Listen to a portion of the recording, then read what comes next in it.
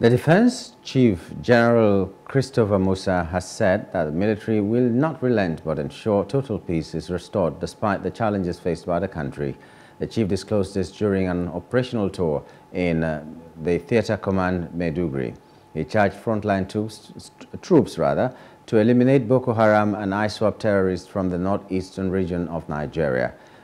While assuring that their welfare will be addressed, the CDS warned the troops to desist from drug abuse, which he said is the handwork of enemies of the country.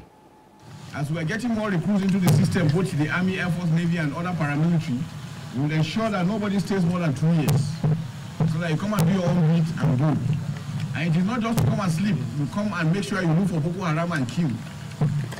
Anybody who comes to theater and finishes without killing one Boko Haram is not complete. So you must make sure before you go, not be so.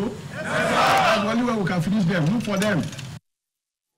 Hello, hope you enjoyed the news. Please do subscribe to our YouTube channel and don't forget to hit the notification button so you get notified about fresh news updates.